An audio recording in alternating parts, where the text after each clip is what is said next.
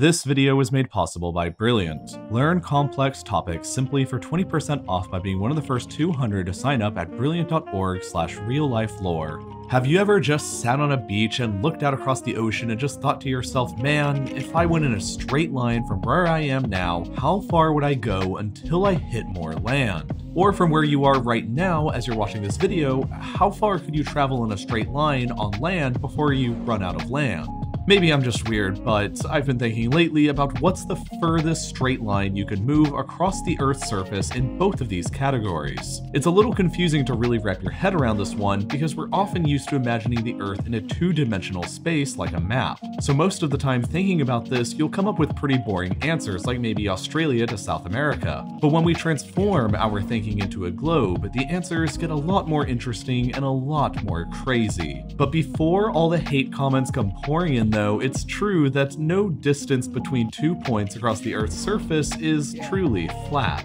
This may seem true enough on a map, but on a globe with a more correct shape, a line from point A to point B more resembles an arc in empty space if you delete the globe. In geometry, these arcs form part of what's called a great circle. Basically, an imaginary circle drawn around an entire sphere. The longest straight line across an ocean without touching any land, therefore, has to lie across an arc on one of these great circles around the Earth. But first, I need to share with you some equally interesting lines between points that you probably would never imagine by simply looking at a map. And first among those is the straight line across water connecting Italy with Venezuela. Yes, that's right, on a map this looks dumb, but here's how it actually works out in reality. You only have about a 6 mile stretch of shoreline around the town of Palmi in Italy to work with here, but if you stay within the borders of the line, you'll eventually make it all the way to Venezuela. You're gonna just squeeze through the northern part of the Strait of Gibraltar and then just barely miss the island of Madeira before finally landing over on the other side.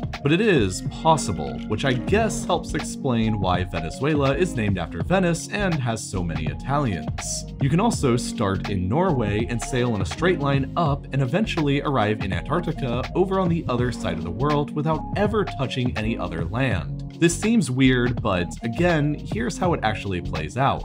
You have to start in a very narrow stretch of coast again on the western side of Norway and head so far north that you eventually begin heading south. You cross between Svalbard and Greenland, just barely squeeze through the Bering Strait between Alaska and Russia. You'll just barely squeeze through again when you're passing through the Aleutian Islands, and a long way later across the Pacific, you'll barely skirt past Samoa. But from there on, it's a straight shot all the way over to Antarctica. But unfortunately, it's not the part of Antarctica which is already claimed by Norway, which is a big shame in my opinion. It lands instead in the only part of Antarctica which no country in the world currently claims yet, so I feel like this is a pretty good qualification for Norway to just call dibs. Now, you could probably spend forever looking at a globe and drawing lines between points just hoping that you'll eventually discover the longest one, but forever isn't exactly an understatement. On a global map with a resolution of 1.85 kilometers, you'll encounter over 230 billion possible great circles that loop around it,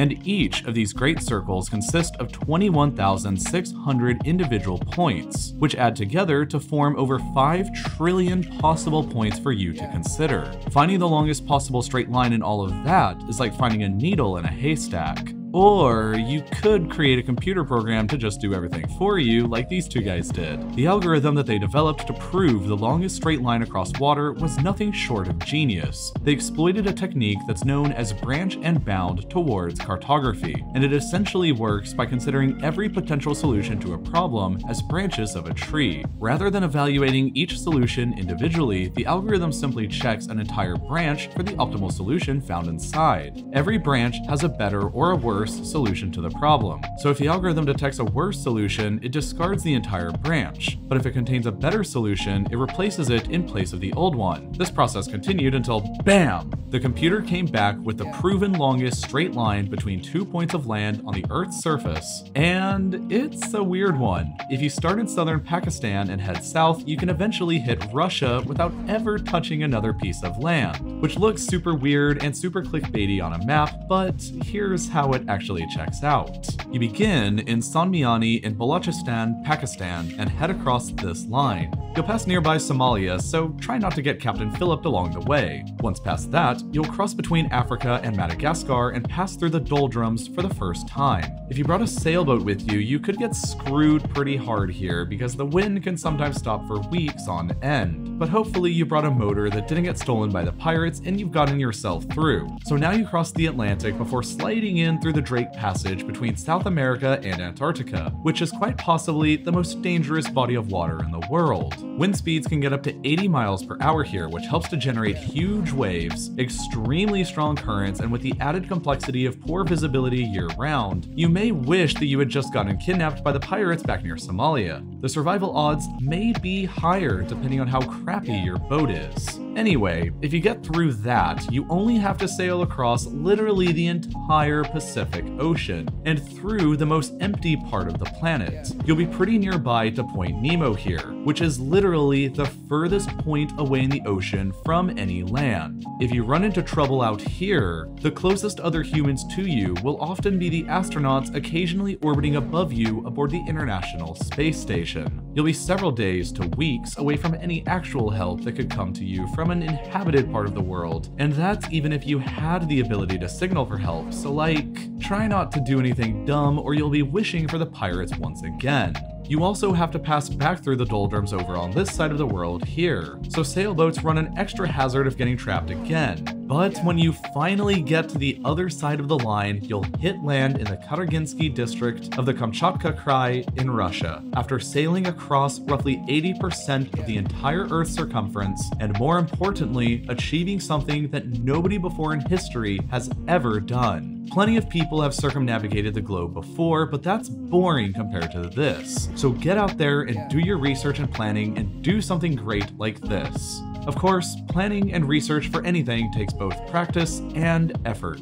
If you're going to go on an adventure sailing in a straight line across the ocean, or if you want to study a globe to find your own weird lines to impress people at the bar with, you need to understand how the planet works. As in, what is the actual shape of Earth? How does the weather work, or how does the Earth rotate? But all of these things are also concepts that you can learn about in Brilliant's Physics of the Everyday course. Brilliant is the best place to learn complex things such as physics, geometry, or really any field of math and science. Not only do they have all of their fabulously designed courses, they also have, in the goal of helping you get a little smarter every day, a series of daily challenges. So in just five minutes while you're waiting for the bus, your coffee, your class to start, or whatever, you can challenge yourself with one of these and then, if it gets your interest, each is linked to one of their full-length courses as well. You can try Brilliant and support this channel by signing up for free at brilliant.org slash real-life-lore. However, the first 200 people that go to that link will also get 20% off the annual premium subscription. Thank you for watching, and I'll see you again next week.